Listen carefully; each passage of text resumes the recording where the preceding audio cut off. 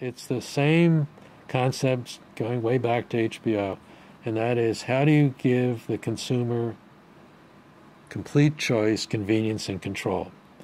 And do you do it in the network or do you do it at hard copy? Now, hard copy, we were quite instrumental in developing the DVD and helping uh, the studio. I always believed in the network, that in fact, the network, and we have cloud computing today, that, the, that that's the way uh, to put all of the technology, all of the advances, all of the capital, and the consumer doesn't have to worry about anything. So at the time, what was prevalent? Uh, we moved from the VCR and we are coming up on the DVD. What was the characteristic?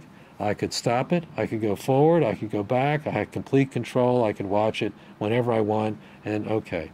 Why can't we, on a network basis, deliver what we'll call VCR functionality, what we now call video on demand? That was the simple premise. And the other uh, aspect to it was we were making a transition from analog to digital. And so uh, I questioned Joe and Glenn and, and all of the engineering capability.